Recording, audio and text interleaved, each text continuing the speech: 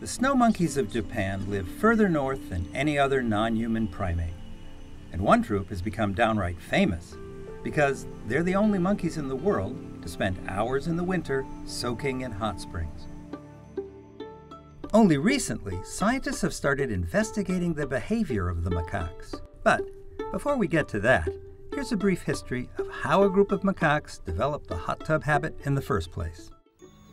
Macaques live all over Japan, but this group's home is near Nagano, where the winter temperatures are often below freezing, but the landscape is sprinkled with natural hot springs.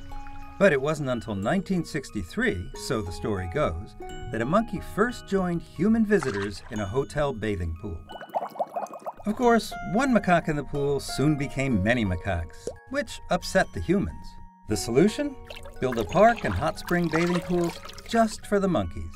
Happy monkeys, happy humans. The macaques soon became an attraction, drawing more attention and more visitors to the mountains of Nagano. Back to the present. Researchers are now focusing on why the monkeys bathe.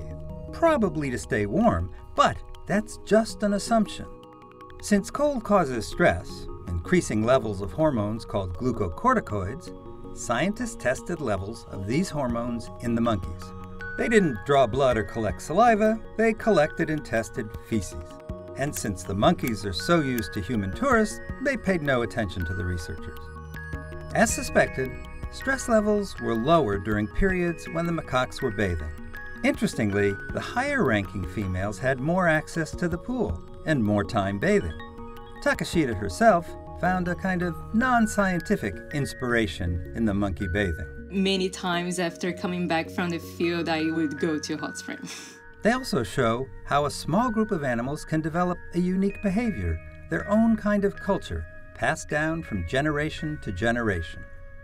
I wonder what they think about while they soak.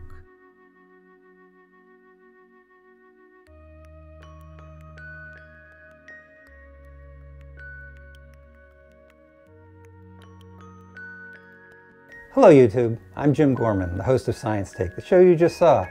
If you don't mind snakes and you're not squeamish and you're curious about science, subscribe to the channel below.